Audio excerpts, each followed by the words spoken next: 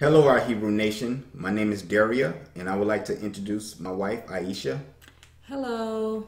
We've been married for 14 years, and we are the founders of the Hebrew Israelites Recommence organization. We have been, been commissioned by the Most High Yah to galvanize His Hebrew people in preparation for our Exodus. We're going back home to our nation, y'all, Israel. Okay. As my husband just said, we are um, the founder and co founder of the Hebrew Israelite Recommence organization. And I um, I want to go right into the title. If you if you'll notice, that's a, a trait of mine. I want to go right into the title, into the teachings. As I said, we will be doing teachings for our organization, um, and we'll be doing up to 12 up to a dozen lessons for the, the this organization. Um, you can click on the link in the description box um, to go to our website. And we'll also talk more about the organization at the end of the video. My husband will um, daria will. So i want to talk about the title who are the gentiles? And i want you to know that this is a part one and a part two okay um, if you have not heard our first two videos, lessons one and lesson two, I suggest that you do that because from there, we're picking up here. Okay, so you need to go back to the first video title You Do Not Get a Choice Whether or Not You're a Hebrew. You know, a lot of you all, a lot of people get that twisted. They think it's a religion, it's your ethnicity. You don't get a choice in that. Okay. Um, lesson two basically i can't think of my own title right now but basically um it was oh the myth of white supremacy. I'm sorry about that. So that's lesson two. Now this is lesson three which is who are the gentiles?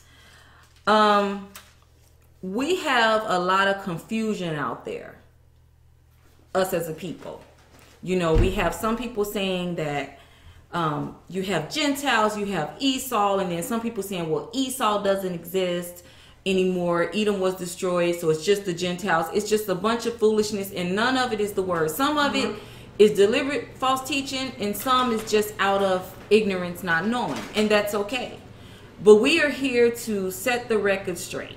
Okay, we're here to set the record straight on who the Gentiles are, who Esau is. And so we're going to talk about that because that has everything to do with us going back home to Israel.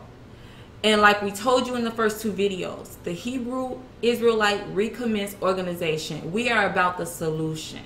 We are about our liberation. We were given a mandate mandate by the most high to galvanize his people and bring them home. And that's what this is about because that's how we're truly going to be free. And so I want to talk about that, and I, I, also have been saying, I'm telling you, within three years, we will be back in Israel. Now, you can stay here if you choose, or, but I'm telling you what the Most High is doing and what time it is. As a prophetess of the Most High, you can believe that or not. So, let's get into this lesson. Number one, I want to talk about, first of all, you do understand that there's the Apocrypha of the Bible. And once the Gentiles, which you're going to discuss who they are, once they took over the narrative for the Christian church movement, they took out, you know, about a hundred books from the Bible. So the Bible that we have is the Word of God. It is the the um, history for Hebrews it is the message to the rest of the world as well, but it has been watered down. Okay? God will not allow them to destroy the Bible like they wanted to do, but they did change the interpretation of what the Bible means because they controlled the narrative. What do I mean by that? Within my family alone, I know at least five or six ministers. Okay, my family um, is heavily in the church, and they I have ministers on every side, uncles, my my mother. I have ministers everywhere. All of them licensed and ordained by the state. None of those schools, those theo- the theology schools where they have to get their license through, is ran or owned by Hebrews, your so called black people. Gentiles own and control the teachings of the ministers. So, what their interpretation of the Bible is what is because they teach all, all the ministers. You know, like I told you, I'm in I'm in um, in Chicago. We're on the north side, and and, and where one of the places where I work at is called Gold Coast. You know, very wealthy area, meaning it's called Gold Coast. You you almost have to be worth gold to even live down there. Okay, so but right in the middle of Gold Coast is Moody Bible Institute which is what a lot of the ministers that I know in the Chicago area, they get their theological license through that school, and that school is in Gold Coast, and it is predominantly white. So the European nations have controlled the narrative. So therefore, they were able to change the interpretation. Why did they do that? They changed the interpretation of the Bible to hide who they are in this Bible. Okay? Just stay with me for a minute because we're going to break this down in detail. Why would they try and hide who they are? We're going to talk about that. However, if you think about it, in this Bible, you see everybody. You you everybody know who everybody is. Oh, the the, the Ishmaelites. Oh, those are Arabs. That's, that's Ishmael people. You know, oh the Africans, the Ethiopian. Oh, oh you know the the Latinos. Oh, that that those, those are Hamites. That's you know that's descendants of Ham. You know, and black people, black people. Do you notice that no one never knows where this certain group of people, the European nations, where are they in the Bible? Where did they come from? Are they in the Bible? That's why we have all these myths out there that they, they come from Neanderthal. Yes, it's Neanderthal in their DNA, but God created them as a people just like everybody else. And they're in this Bible from Genesis to Revelation. They just have hidden themselves because for all you so-called people who saying that the, the bible was written by white people excuse me the bible was written by hebrews for hebrews if it was written by the european nations it would be a lot more positive things about this bible when it's concerning them and it's not 95% of what's in this bible is about the european nations is bad okay now, if you have a problem with that, you take that up with the Most High. I'm just telling you what's in the book. And as I say, have said in the past videos and what in videos one and two, I'll say again. You can say whatever you want for all you non-Bible believing Hebrews. You can say whatever you want about this Bible. But everything that's in it is coming to pass and or already has come to pass. So explain that to me. Okay, but with that, we're going to move right along. The question is, and the title of the video is, Who are the Gentiles? So, first of all, my husband, Darya, he's going to read Genesis chapter 10, verses 1 through 5. And before he reads, I want you all to understand that he's going to come from the King James Version. That's the early English translation. And the reason why we're doing that is for a reason um, because like I said, they changed the narrative, and so that's why we're going to read the King James version first. Hi, family, and I want to take this time also to apologize if I get any of these names um, mispronounced. I do not profess to be a Bible scholar, so um, if if um, forgive me for chopping up some names. I'm doing my best I can. Genesis chapter 10. The Japhethites. Verse 1. Now these are the generations of the sons of Noah, Shem, Ham, and Japheth. And unto them were sons born after the flood. Okay, before you um, go any further, I just want to go over verse 1 really quick. You do understand that after the flood, which there has been proof in the earth that there was an actual flood, you know, from all the things that have been unearthed in the last few decades. There, um, there was a flood. Of course, the world was so wicked. The Most High said, "I'm just gonna wipe them out." Noah, I'm keeping you, and from you I'll start the new world.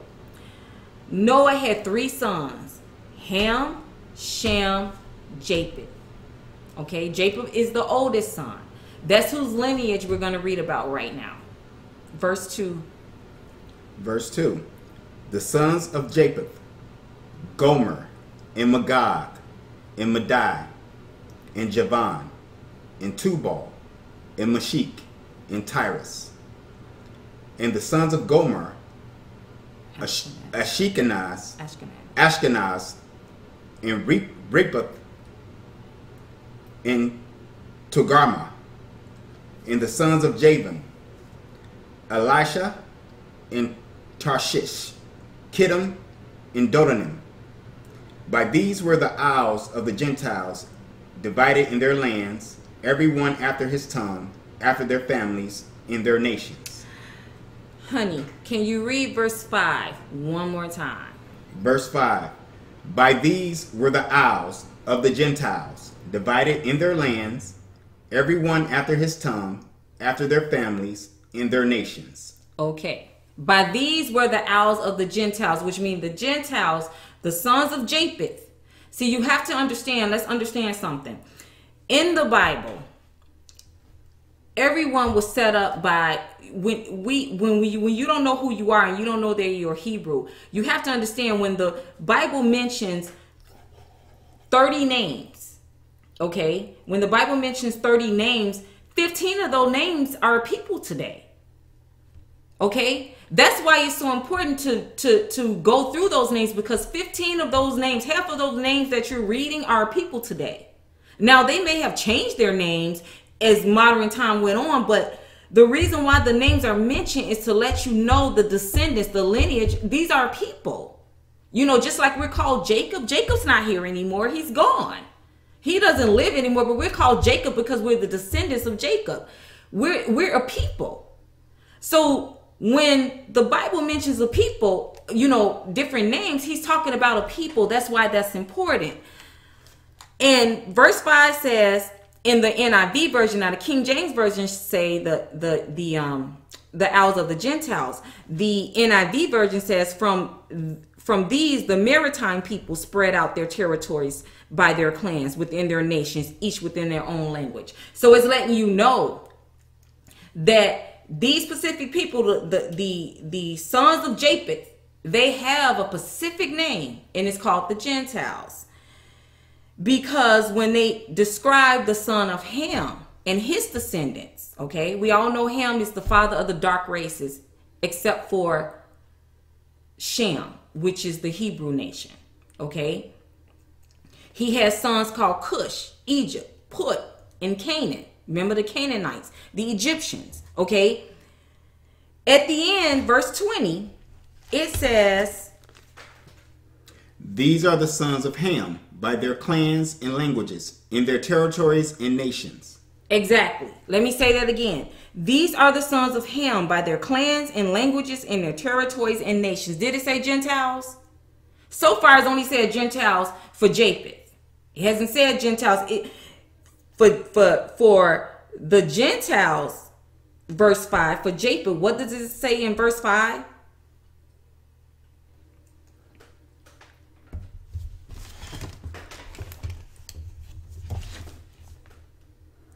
From these, the maritime people spread out into their territories by their clans within their nations, each with its own language.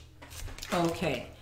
And then the King James version says the Gentiles, and the um, NIV version says the maritime people. Okay, but for Ham, it just says these are the sons of Ham by their clans and languages in their territories and nations. Okay, it doesn't say anything about Gentiles. Okay, it doesn't. So let's go King James Version, Genesis. Okay. Let, let's go to the Semites, which is the descendants of Shem, which the 12 tribes of Israel came from. That's our people. Okay. God knew specifically what he was doing. Ham, um, Japheth, Ham, Shem. He divided everybody by bloodline. And it says, you know, who our descendants are Elam, Ashur, you know, Aram. Okay. But what I want to, the reason why I'm not going through their clan because we're not trying to find out who the descendants of Shem are. We already know who we are. We're Hebrews, and we're not trying to find out who the Hamites are. We already know who they are. That's the father of the dark races. We're trying to figure out who the Gentiles are. And so for the for the Semites, verse 31 says, after it sums up and names everybody, it says, and these are the sons of Shem by their clans and languages in their territories and nations. Okay? For Ham, it says, and these are the sons of Ham by their clans and languages in their territories. But for Japheth, what does it say in verse 5 to sum up everybody? Verse 5 states, By these were the isles of the Gentiles divided in their lands, every one after his tongue, after their families in their nations. Exactly. Why doesn't Ham and Shem say, let me read again what it says for Ham after they sum up all the descendants. These are the sons of Ham by their clans and languages in their territories and nations. Okay. Verse 31 to sum up all the descendants of Shem, it says, These are the sons of Shem by their clans and languages in their territories and nations. But for Japheth, it says what? By these were the isles of the Gentiles mm. divided in their lands, everyone after his tongue, after their families, in their nations. Exactly. They were the only one given a specific name called Gentiles. Gentiles. So when you hear in church that everyone that is not a Hebrew is a Gentile, that's a lie. Once I once again the, re, the whole reason why I told you everything in the beginning is to let you know these people have controlled the narrative. Everybody is not Gentiles only the people of Japheth, the, the, the descendants of Japheth are Gentiles. That's very clear in the word. They're the only one called Gentiles. The descendants of Ham are not called Gentiles. They're just called the sons of Ham. Okay? The the descendants of Shem are not called Gentiles. They are just called um, the sons of Shem. But the descendants of Japheth are called from these the Gentiles spread out in their territories by their clans within their nations. It's very clear. So the descendants of Japheth is the Gentiles. They're the only ones called Gentiles. No other descendants from Ham or Shem are called Gentiles. They're just called sons of Ham and Shem. Okay? So, I want to talk about that. And the NIV version says the maritime people, which is the sea people. Okay? So now that we got that straight, let's deal with we we we we have it straight that in the Bible, the the descendants of Japheth is called Gentiles. He's the only one called Gentile. Ham and Shem descendants are called the sons of Ham and Shem. The the descendants of Japheth is called the Gentiles. Okay, so I don't even understand why there's a confusion here. It's very clear. That's number one. So let's deal with part two of this the line of Esau. Now, people first let's be let me make some clarification here. The land of Japheth is a European nation. If you will go look online and you look up the lineage of Japheth, you will see that it traces back to all European nations. All European nations. Okay, I'm not here to do the research for you. So what does that mean? That means that the bloodline of Japheth is white what your so-called white people. The um, Magog, Gomer, Magog, you know, there's re- all of these, all of these nations that's named as the children of Japheth are the European nations today. Okay, you can look it up for yourself. So we know we're dealing with Japheth, we're dealing with the European nations. Okay. When you're dealing with Ham, you know you're dealing with the father of the dark races. Think of Egypt, really Cush, Canaan, uh, you know, and, and you know you've got um, the the all the dark races, the melanated people. Him, Shem is set apart by from itself. The bloodline of Jacob, that's the Hebrews. That's your twelve tribes. Everybody knows that. The scholar, everybody knows that. They just lied and and just said that Hebrews are white. Japheth. I don't know how that's supposed to happen, but that's what they said. But I just broke it down. So now we're gonna deal with Esau. Who is Esau? Because a lot of there's a lot of confusion out there and there's a lot of false teaching you know. You have some hebrews that call uh, europeans white people esau. And then you have others that saying well um, they're not esau they're gentiles. The the argument is is that esau descendants were edomites. And that edomites could not possibly exist today because Edomites were destroyed when God destroyed Edom. And I want to tell you that that's wrong. Edomites, the descendants of Esau, were not destroyed. Edom was destroyed. The Edomites weren't destroyed. Where did they go? It's no different than us. Jerusalem and Israel was basic was um eventually destroyed, the land as a curse from the most high. Edom, the country was um was was eventually destroyed as judgment from the most high. But just like us, where did the people go? All of them weren't killed. Just like we migrated into the west coast, coast of Africa when we lost our country, the Edomites went somewhere. Where did they go? Esau's descendants went somewhere. Edom was destroyed, the actual physical kingdom of Edom. But East, where, where did the Edomites go? They weren't all destroyed, you all.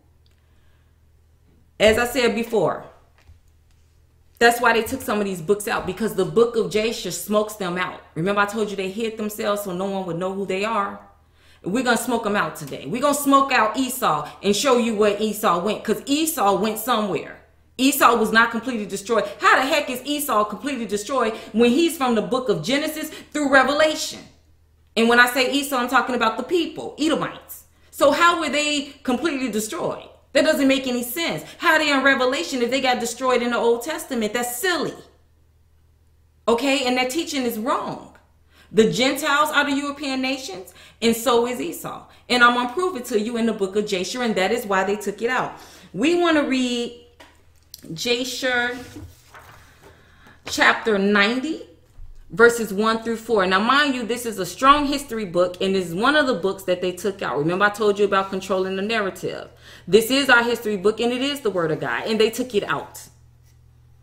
Okay, but it smokes out who's who. It's very clear in this book who's who, and this is why they took it out. Jasher chapter 90, verses 1 through 4. At that time, in the fifth year after the children of Israel had passed over Jordan, after the children of Israel had rested from their war with the Canaanites. At that time, great and severe battles arose between Edom and the children of Chittim. Okay, I want to do a little background here. I want to do a little background here. I want you to know that the book of um, in the book of Jasher, chapter 90, was written five years after the Israelites had finally crossed over into the promised land. Okay, the Joshua generation had finally beat out everybody, ran out everybody. They, we did that because it wasn't their land anyway. And if you read the book of Jubilees, you'll see why that happened. Okay, so now they're settled in their new promised land. Joshua says this is five years later. This is um, um, Jasher chapter 90. Five years later, they look up and they, they're witnessing a war between who? Edom and the children of Chittim. Kittim. Kittim, I'm sorry. Those are both children of J, um, Japheth. Okay. Well, Kittim, Kittim, Kittim is a is a is a is a child of Japheth. Okay. So you can continue, honey. Verse two. And Abinus, king of Kittim, went forth in that year, that is in the thirty first year of his reign, and a great forth with him of the mighty men of the children of Kittim and he went to Seir to fight against the children of Esau. Okay. Edom the, is the place where they live, and the, the people that live there are, are the descendants of Esau. And so this king of Kittim, okay, which is Japheth's descendant, which is a European, okay, white, they decided, I don't know if they were right at that time, but I'm saying that um, descendants of Japheth, they decided that they were going to go up against Esau and fight them. Verse 3 And Hadad, the king of Edom, heard of this report, and he went forth to meet him with a heavy people and strong force, and engaged in battle with him in the field of Edom. Exactly. So Kittim, the children of Japheth, went into battle with the children of Esau, which in Edom. Verse 4 continues and the hand of Kittim prevailed over the children of Esau, And the children of Kittim slew of the children of Esau two and twenty thousand men. And all the children of Esau fled from before them. Okay. So it sounds like here that when Kittim, the descendants of Japheth, which is the father of the European nations, went against Edom, the descendants of Esau, they beat their butts. They kicked their behinds. They won that war. It's right there in 4. They won that war and they subdued them. They won that war. Okay. Um, and so the descendants of Japheth, which is the father of the European nations, beat Esau and beat which in Edom, which is what was their land. So now we're going to read Jasher. We're going to skip down a little bit, 90 verses 7 through 9. Verse 7 And the children of Kittim continued their pursuit of Edom, and they smote them with a great slaughter, and Edom became subject of the children of Kittim. Okay, you hear that? Kittim kicked Edom but the east the descendants of esau's butt and they sla- slaughtered them and they became esau became subject to kittim because kittim won this war five years after we crossed over into the promised land um kittim beat esau the, the descendants of esau in edom just like god said would happen and conquered them Verse 8 And the children of Kittim ruled over Edom, and Edom became under the hand of the children of Kittim, and became one kingdom from that day. can you repeat that last part about the kingdom part The children of Kittim, after defeating Edom, they became one kingdom from that day. Do you hear that? The children of Ki- Kittim, the descendants of Japheth, which is Japheth is the father of the European nations, so that means Europeans, Kittim, beat Esau and East and sub- subjugated them from Edom, and they became one kingdom, which means the Edomites became one in the nation of Kittim. Okay? And just for the record, just to clear something up, if you look up Kittim, Kittim is nothing but your modern day Greece. Okay, the Grecians. You know, in the book of Maccabees, another book they took out, the Greeks was the one, once again, coming against the Hebrews, the chosen people of God. What happened to Nigger? Okay, this is an ancient old battle. Okay, Esau is now in Greece. Now, how can Esau blend in and become one kingdom with Greece if they're not looking the same way? That doesn't make any sense. So it sounds like to me, Esau went to Greece. And then I want to read, did you read nine? Okay, verse nine. Verse 9 And from that time they could no more lift up their heads, and their kingdom became one with the children of Kittim. Exactly. Their kingdom became one with the children of. Kedom. The land, the city, the country of, of Edom is destroyed, but the but the descendants of Esau went where? To Kedom, which is what? Your current day Greece, which is what? White people. Okay. Let's smoke out Esau a little bit more. Um, Jasher, verse 90 and 29 through 30. Jasher chapter 90, verse 29. And during his reign, he brought forth an army, and he went and fought against the inhabitants of Britannia and Kernania, the children of Elisha, son of Javan, and he prevailed over them and made them tributary. Okay, let's talk about that a little bit.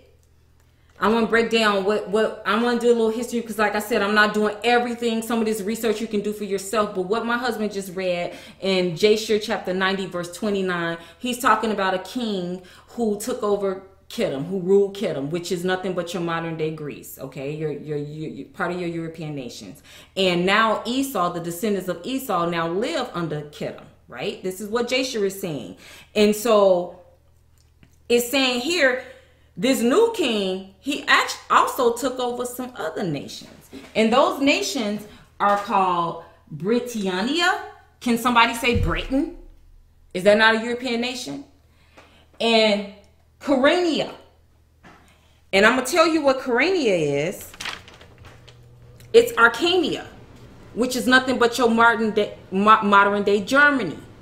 Are not all of these uni- so so Kittim took over Edomites, Esau, and, and they became one with that kingdom. Then he took over Brit- Britannia, which is Britain. Then he took over Germany. Are all those white people? So you telling me Esau don't exist, or did he merge with the Gentiles? Because remember, Kittim is not Esau, but he's a Gentile because Japheth is the father of the Gentiles and he's a descendant of, of, of Japheth. It's really rather simple. It's all here. But if you're missing this book, then you're not going to understand that. And that's why they took it out because the book of Jasher breaks everybody out down and, and, and on who's who in this Bible. Okay? So we talked about Esau, we talked about Edom, Edom, and um we also want to talk about like I said, we want to go into verse 30 and then we want to continue and talk about more about Esau and the Gentiles. J- Jasher chapter 90, verse 30. He then heard that Edom had revolted from under the hand of Kittim, and Latinus went to them and smote them and subdued them, and placed them under the hand of the children of Kittim.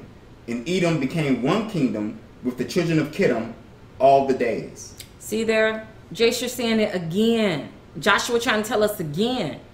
Esau is under Kittim, y'all. Kittim ain't nothing but a descendant of Japheth. Japheth is the father of the European nations. You all, Edom was destroyed. The actual Edom was destroyed. The land, just like our actual Israel, the land was destroyed and desolate for years before before um, they lied in the 1940s and came and, and started squatting on our land. But before then, we, that's another video. But before then, Edom was destroyed, but not the people. The people merged with the European nations. Okay? So you're talking white people, and they also took over Britannia at that time. Jasher was calling, which is nothing but Britain.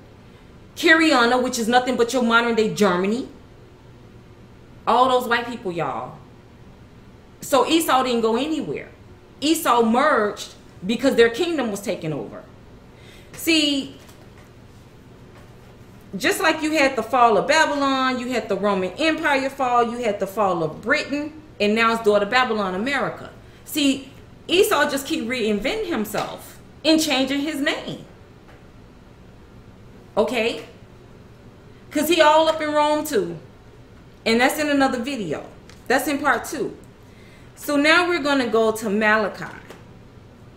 I want to talk about what does the Bible say about Jacob and Esau because like I said we're Jacob as I told you when you when the Bible says a name he also is talking about a people. That's why those names are so important. Jacob's not here anymore. We're his people. That's why we refer to as Jacob in the Bible. Esau has a people. And we're going to talk about his people, Jacob and Esau. But before I do that, I, I need you all to understand so you won't be confused you have to understand the language of the Most High, okay? Just like our, our, our, God, our Father, He has many names. The Most High, I am, the great I am, the Alpha and Omega, the beginning and the end. You know, Jesus has many names. They call him Rabbi, teacher, okay? They call him the Prince of Peace. The Holy Spirit have several names. Comforter, you know, um, he is the uh I forgot some of his names, but he has multiple names. Okay? The Lord, the Most High, refers to his people the same way. So when you're dealing with Israel, the Hebrews, he calls us daughter Zion, daughter Jerusalem. He calls us Jacob. He calls us, you know, Israel.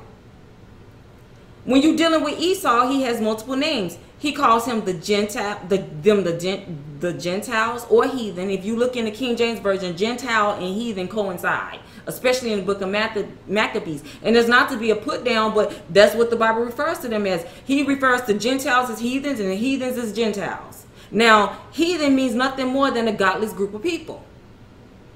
I think that would describe them precisely. I think the Most High is right, and He always is.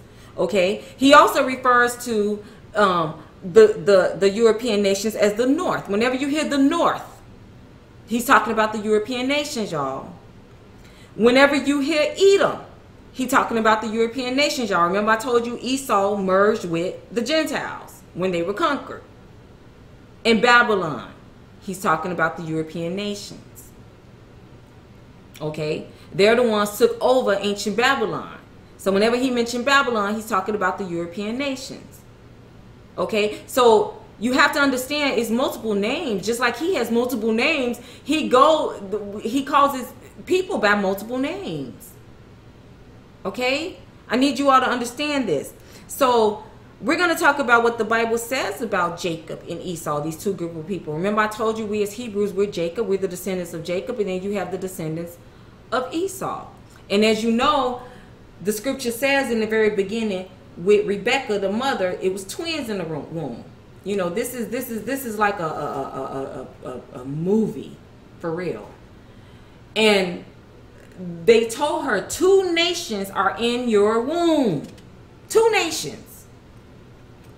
That means two separate bloodlines are in your womb. Her twins were named Jacob and Esau. You already know that story. Okay? Now you know I'm telling the truth about that. So we're going to talk about Jacob and Esau. Um, I want to read Malachi verse 1. I mean chapter 1 verses 2 through 5. Malachi chapter 1 under the heading Israel doubts God's love and I'm coming from the New International Version.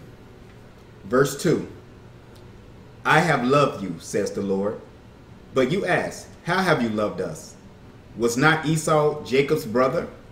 Okay. Declares the Lord. Is that just verse 2, honey? Okay. Yet I have loved Jacob. Okay. So, can you read that again? Because I interrupted you. I'm sorry. I have loved you, says the Lord. But you ask, How have you loved us? Was not Esau Jacob's brother, declares the Lord? Yet I have loved Jacob. Okay. That's verse 2 right there. So this is this is the Lord speaking to to us, Israel, because we've been getting our butts kicked for 500 years. This is for current day. Malachi wrote this as a prophecy and this is today. The Lord saying, "I love you." And Jacob saying, "How in the world you love us? All we've been through. Are you serious?" And he's saying, "Of course I love you." Because what? You can continue, honey. Verse 3. But Esau I have hated, and I have turned his hills country into a wasteland and left his inheritance to the desert jackals. Edom may say, Though we have been crushed, we will rebuild the ruins. But this is what the Lord Almighty says They may build, but I will demolish. They will be called the wicked land, a people always under the wrath of the Lord. Okay. Are you done? Verse 5. So I want to break that down a little bit before he continues. Um, so what what what basically is going on here like i told you jacob is saying you didn't love me. You don't love me. And god saying yes i do love you but esau i hate it. Now a lot of people think that that scripture is very um harsh but it's the reality of the situation okay? Esau is represents the european nations okay I just explained that to you. If you don't believe it, then you know you could just turn at this point because I don't know how else to tell you the truth. Um, and he said, Esau, I hate it. Now, do he actually create a people that he'll hate? Absolutely not. He just knows their behavior. He knows their behavior. He's and he's saying, I'm gonna make your land a desolate waste, which is what he did. He tore down Edom. And they said, what did they say when he tore down Edom? They said Edom said they will rebuild it, rebuild it again. Okay, and they have Babylon. God tore that down. The Roman Empire. God allowed that to fall. Britain, mother, great mother Britain, tore that down. Now you have daughter Babylon. That's your four kingdoms: Babylon, Roman Empire, Britain, and now the last one standing, which is the fourth beast in Daniel, which is the first beast in Revelation, is daughter Babylon. So he's saying, I'm going to bring you down. Edom saying, the Esau saying, I don't care. We're going to build it back up. No, I'm going to bring you down because look what they do when they're in power. That's why God's like, I hate these people. It's their behavior. Okay?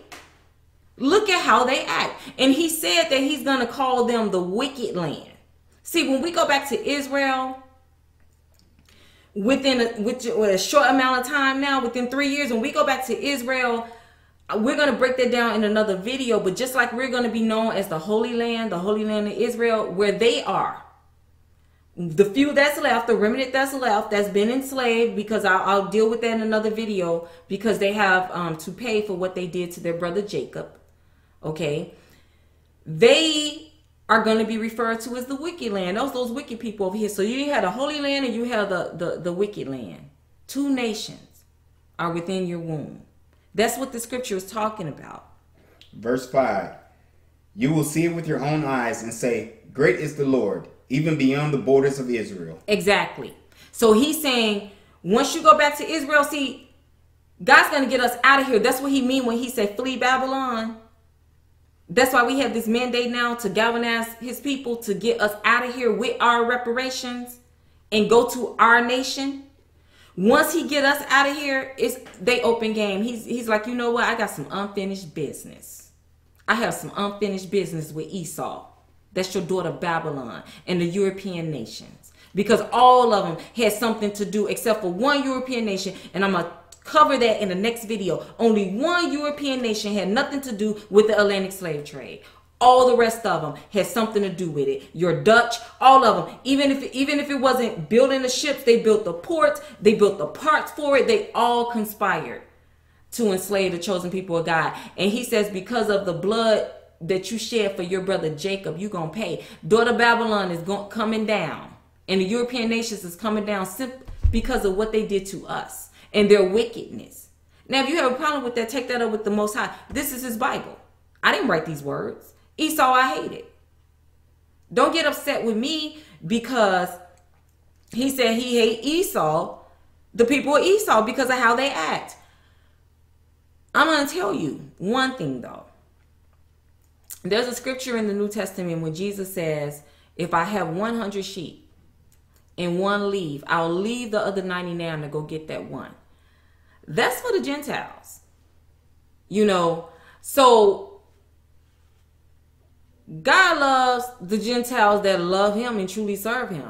You know, he doesn't hate anybody. Everybody gets a chance. Paul was the um, apostle to the European nations. If you look at Paul's route, his whole route, he called himself the apostle of the Gentiles, and his whole route is to the European nations. He don't go nowhere else.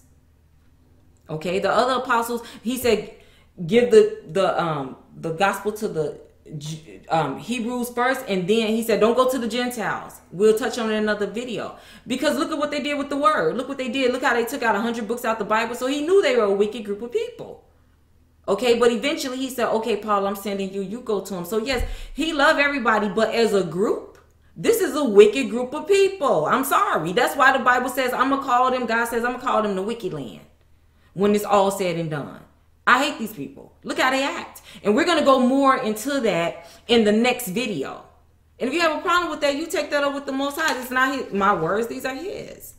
And so, what I want our Hebrews to know in the beginning of this, and we're about to close, bring things to a close here, but in in the beginning of this, you need to understand that this is an ancient old battle.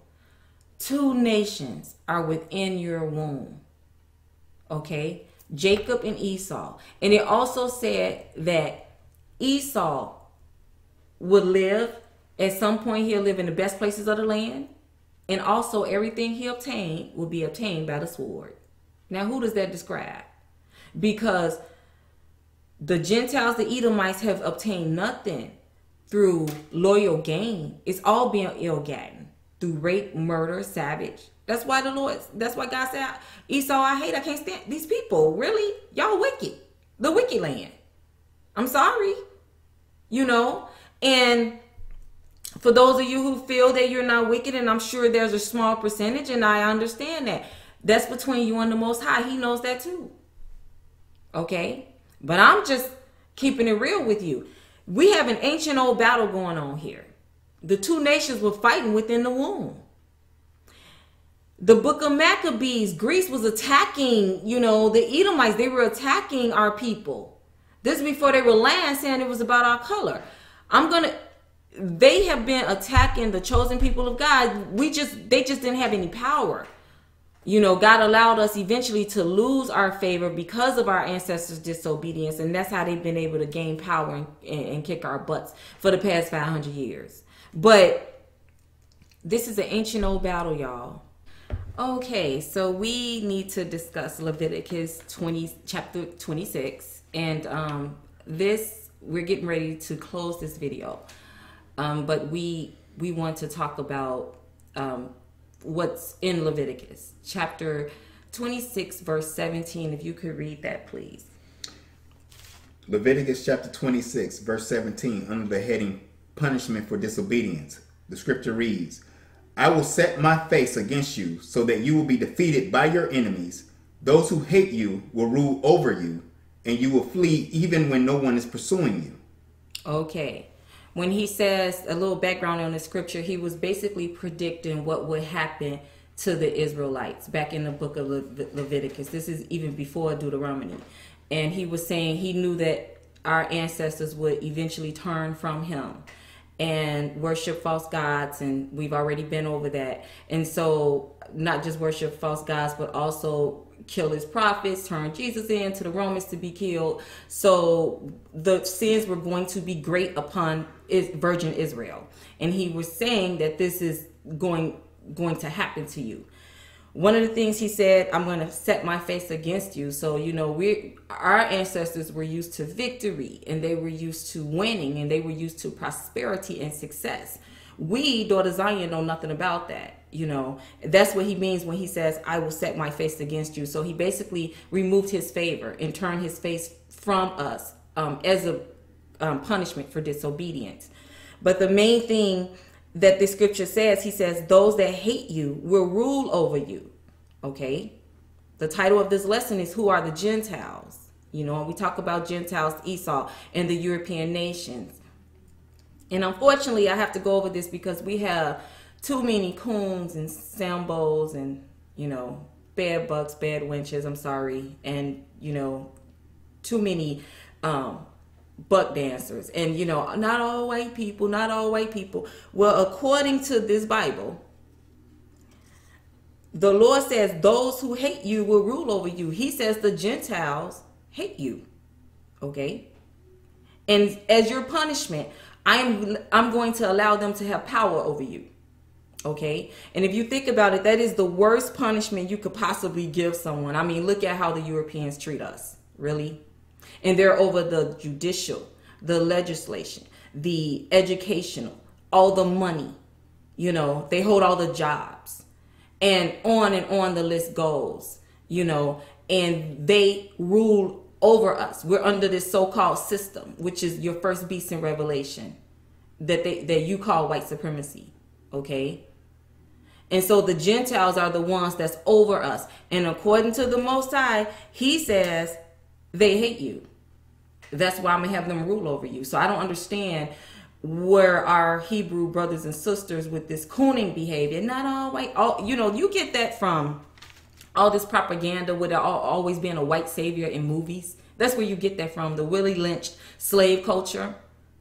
Okay, as a group, God is saying, the Most High said, those that hate you will rule over you. He's saying these this particular people, group of people hate you, and I'm gonna prove to you he's talking about the Gentiles.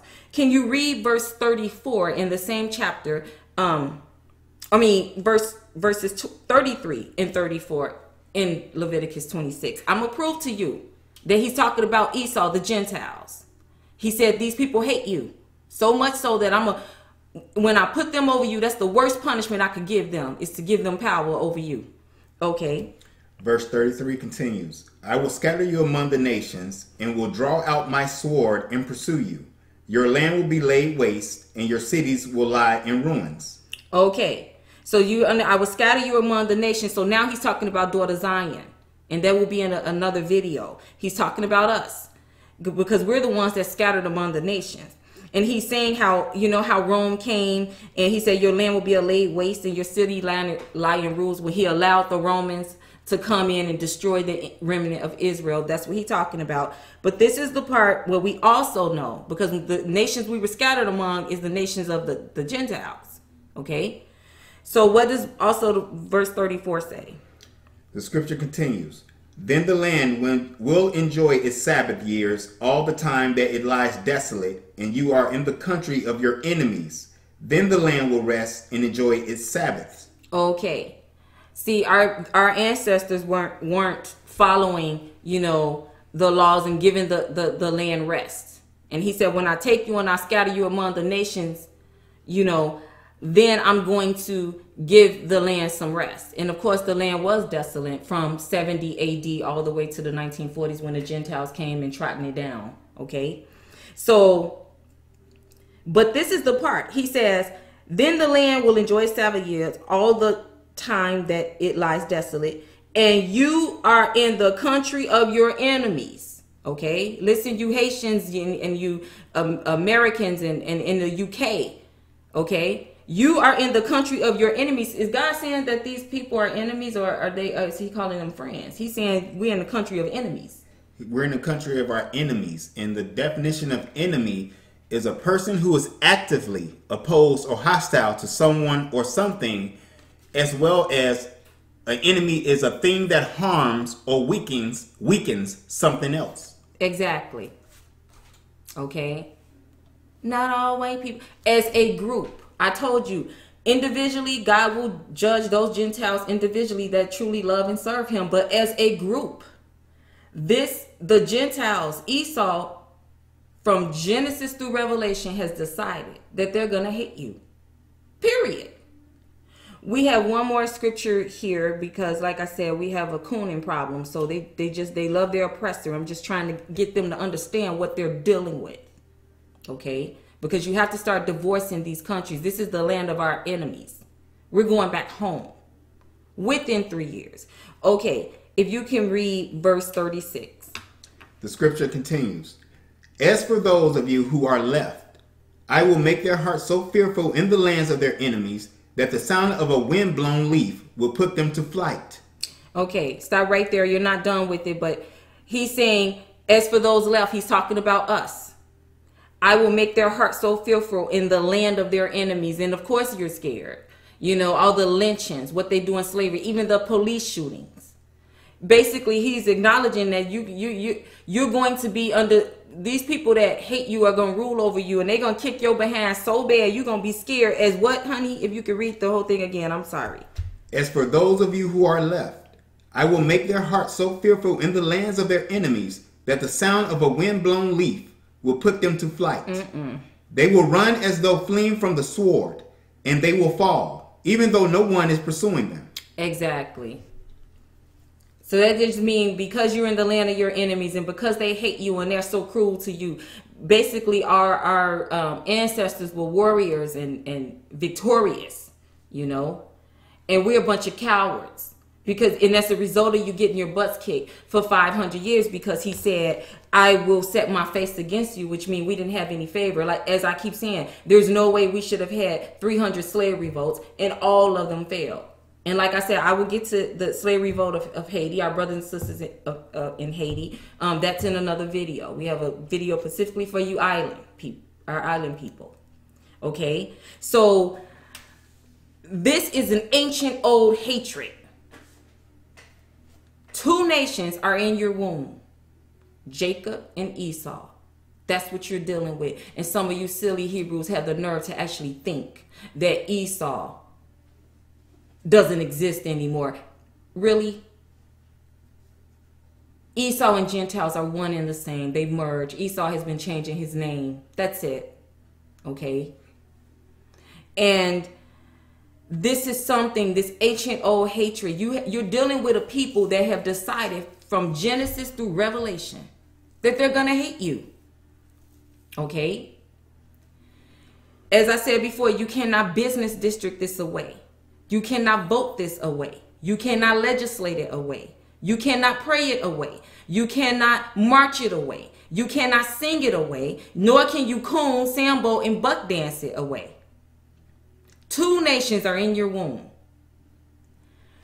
They could easily, Esau could easily do the right thing and just love God and, and, and care about his people. It's like a dog and a cat in the house, like the example you use. You know, a dog and a cat can learn to live harmoniously in the same house. But we have a group of people who have decided what, honey? That they're just gonna hate the chosen people of God regardless to the end, to death. Exactly. And not only to their death, they're gonna pass it down to their children's children, so they learn and come up to hate God's chosen people, any ones who are not like them. Exactly. Because you have to understand, they I mean, they are a wicked group of people. They don't like anybody anyway. I get that, but they hate us, and you know it. And that's because Jacob I loved and Esau I hated, and because we're His chosen group of people, and because of God rejected them, He said, "I hate these people as a group." Okay, because of their wicked behavior, because of how they act. You know how they act. And so, and they've been acting that way since Genesis all the way through Revelation. Okay. And he says, I, I hate these people because of their behavior, but Jacob I love. And because of that rejection from the Most High, the devil said, okay, well, you could be my chosen people for real. And so he uses them to do his bidding here on earth, to try and set up this new world order, to which is going to fail, by the way, um, to try and that's what all these secret societies are about. This Illuminati you all be talking about, and the Vatican, the Catholic Church, all of that is just them. They have made a pact with the devil. He promised them riches and power to serve him, and they said, okay. They're his chosen people on this earth. They do his bidding on this earth, just like we're going to be used to for God to rule the earth through us. That's why he chooses the people. There's no other reason for it the devil chose them to be his his group of people. And I'm not just saying that, I'm going to prove it to you. Okay? And I, before, but before we do that, I, I also want you to understand that's that sick um, obsession of hatred they have about about us. You know, you would think, honey, they have all, they own all the resources and money, and they're still got this sick obsession of hatred and jealousy. Mm-hmm you know, I was on a natural hair site. You know, I was just getting some tips for my hair, and um, you know, it was just a beautiful slideshow that that the Arthur had of all the us Hebrew women with our hair, and everyone was commenting on how beautiful the hair was. And of course, uh, uh, a, a Edomite gets on there, and she's like, "All hair is all women have beautiful." They can't stand. They don't even like when our black men compliment us. When it P Diddy, he said something about black women LeBron James just said something about beautiful black women on Twitter. I mean, these Esau women went off. Jealous. You the one with all the money and the resources. What you scared? What you jealous of us for? But two nations are in your womb, you know, and these are the enemies of God. You know, they're the ones that was trying to look for the um, Messiah child and kill Jesus. That was the Roman king. That was Herod. That was them, y'all. That was a Gentile. You know, always trying to attack the people of God.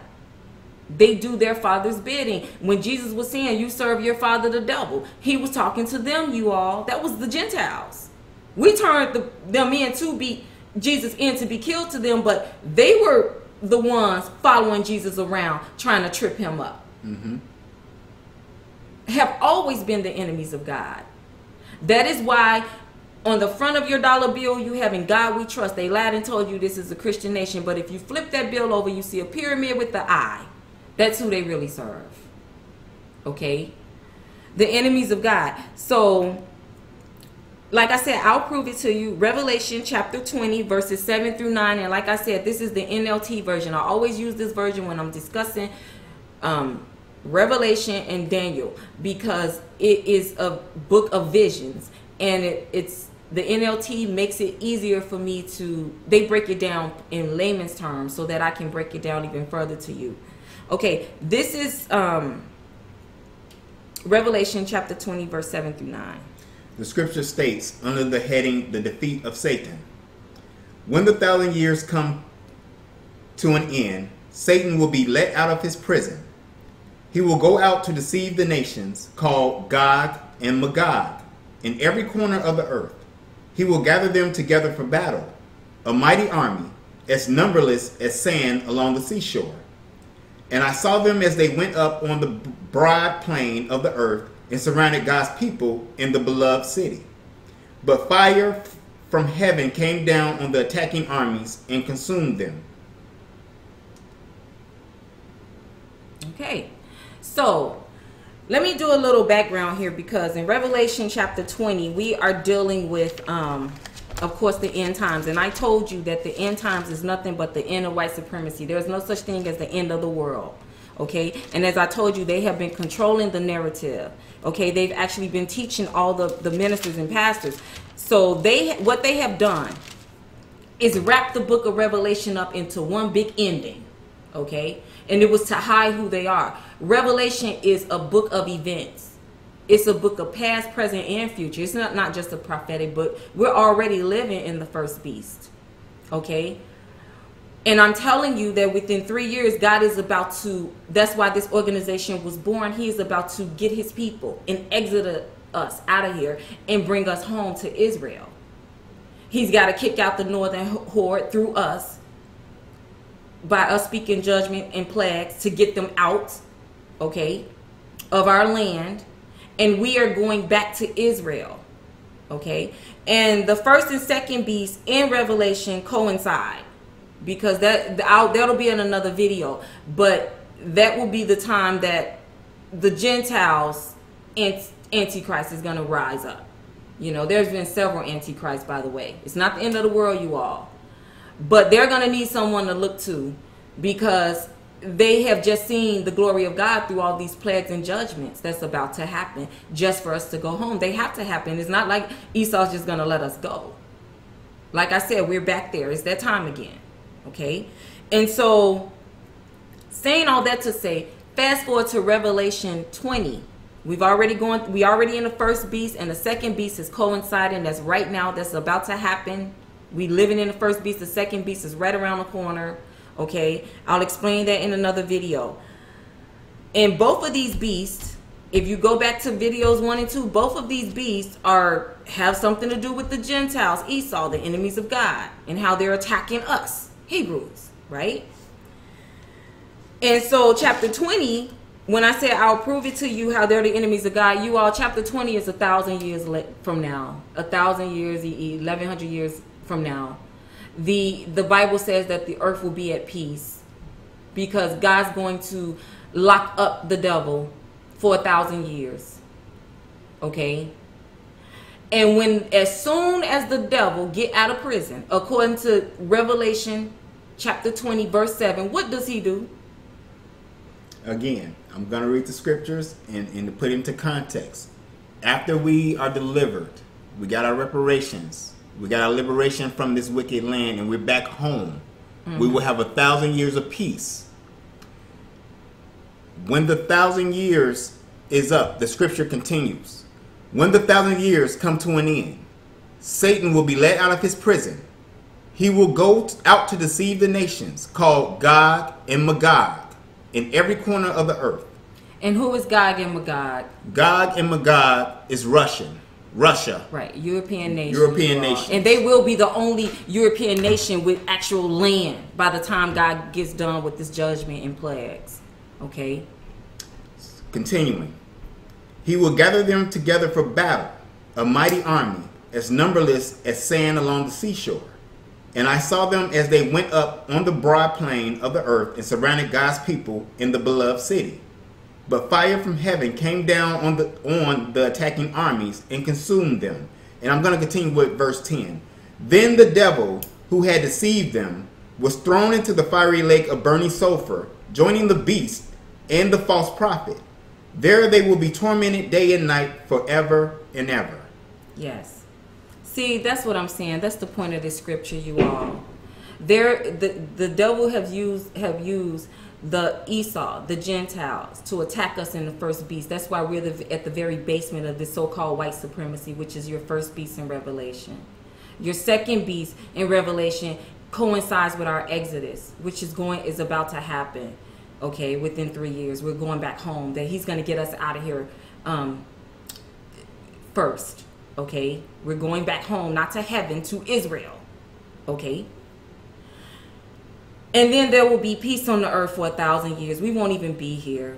But guess what? The children of Esau in a thousand years, when the devil gets out of out of his jail, spiritual jail, you guys. You guys aren't going to see the devil thrown in, okay? Stop being silly. I've explained this. The first people he gonna go to is his chosen group of people, Gog and Magog. That's that's European nation, nations, you all. And you're telling me that, that they're not his chosen people. They are his people that he chose to do his bidding down here on earth. So much so that when he gets out of his prison, they're the first ones he's going to go to, right? Correct. Says he's going to Gog and Magog. Okay, let, and the the very next thing they're going to try and do is do what? Come attack Israel. Israel. Okay? And God's going to burn them up. And that's when it's going to be the end of Esau because he did say eventually Esau will be no more. He's going to wipe their um their their lineage off the face of the planet. They've been nothing but trouble from Genesis through Revelation. Esau been trying to kill Jacob since they existed. Mm-hmm. Even the actual brother. Brothers, okay? And that has continued. Esau was trying to kill Jacob his whole life. They were fighting in the womb. Exactly. And so what I'm saying to you all, you all think you want to you trying to find peace. These people have decided that they're going to hate you from Genesis through Revelation. Okay? There's no hope for them as far as getting along with us. That's in your head.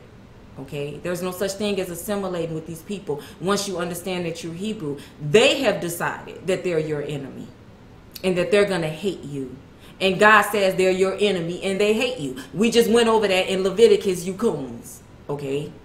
So they hate you so much that even after we exit this out of here, a thousand years from now, our great great grandchildren, the first thing they're gonna have to do, they're gonna do when the devil get out of prison, he's gonna go to his chosen people and they're gonna come try and attack us.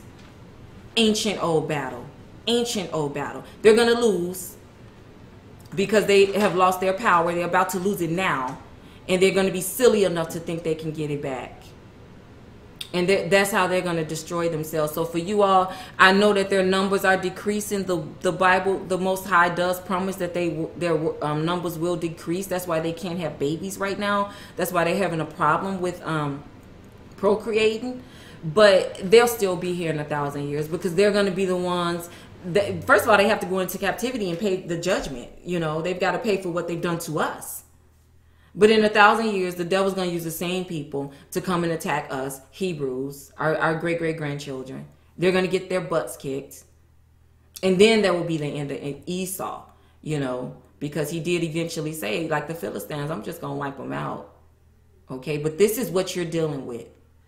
This is what you're dealing with.